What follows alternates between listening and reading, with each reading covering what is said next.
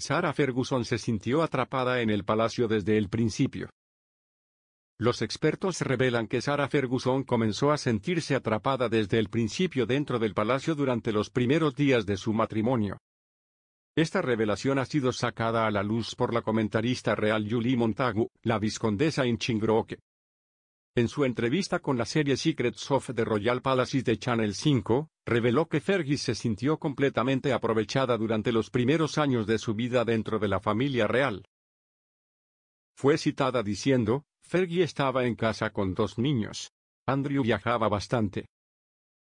Creo que se sintió muy atrapada dentro de los muros del palacio, si quieres. Fue entonces cuando las grietas realmente comenzaron a mostrarse.